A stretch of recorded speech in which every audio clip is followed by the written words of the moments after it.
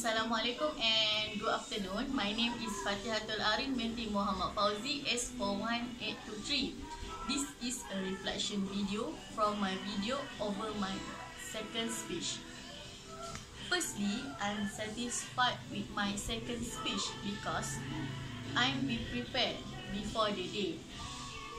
But I just disappointed because I'm read the text and not memorize the text.